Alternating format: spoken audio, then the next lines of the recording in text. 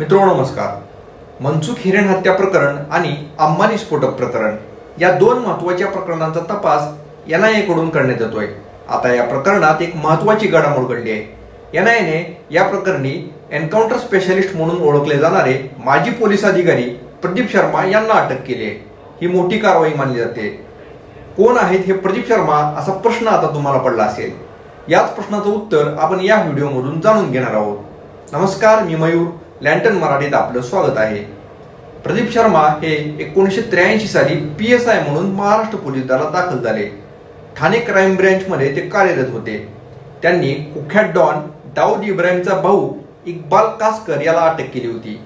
प्रदीप शर्मा यांनी त्यांच्या कारकिर्दीत तीनशे पेक्षा जास्त गुन्हेगारांचे एन्काउंटर केलं आहे. रामनारायण गुप्ता उर्फ लखनबैया याचे बनावटी एन्काउंटर आणि कुख्यात डॉन दाऊद इब्राहिमशी संबंध या आरोपामुळे दोन हजार आठमध्ये शर्मा यांना पोलीस दलातून निलंबित करण्यात आलं होतं. लखनभैया एन्काउंटर प्रकरणात प्रदीप शर्मा यांच्यासह तेरा जणांना अटकही करण्यात आली होती. या प्रकरणी त्यांना तीन वर्षांचा तुरुंगवास भोगावा लागला. दोन हजार तेरा मध्ये मुंबई उच्च न्यायालयाने शर्मा यांची या आरोपातून निर्दोष मुक्तता केली. तेलगी बनावट मुद्रांक प्रकरणातील आरोपामधूनही त्यांची मुक्तता करण्यात आली. सगळ्या आरोपातून मुक्त झाल्यानंतर आपल्याला पुन्हा एकदा पोलीस दलात रुजू करून घ्यावं म्हणून प्रदीप शर्मा यांनी महाराष्ट्र प्रशासकीय लवादाकडे दाद मागितली होती. काही महिने दुर्लक्ष केल्यानंतर दोन हजार सतरा मध्ये गृह खात्याने त्यांना पोलीस सेवेत रुजू करून घेतलं. मात्र चार जुलै दोन हजार एकोणीस रोजी त्यांनी तडकाफडकी राजीनामा दिला. त्याच वर्षी त्यांनी शिवसेनेत प्रवेश केला आणि नालासोपारा विधानसभा मतदारसंघातून त्यांनी दोन हजार एकोणीसची निवडणूक लढवली. या निवडणुकीत त्यांना यश मिळू शकलं नाही. बहुजन विकास आघाडीच्या क्षितिश ठाकूर यांनी त्यांचा चाळीस हजार मतांनी पराभव केला. सचिन वाजे यांच्याशी त्यांचे जवळचे संबंध राहिले आहेत. प्रदीप शर्मा हे सचिन वाजे यांचे गुरु मानले जातात.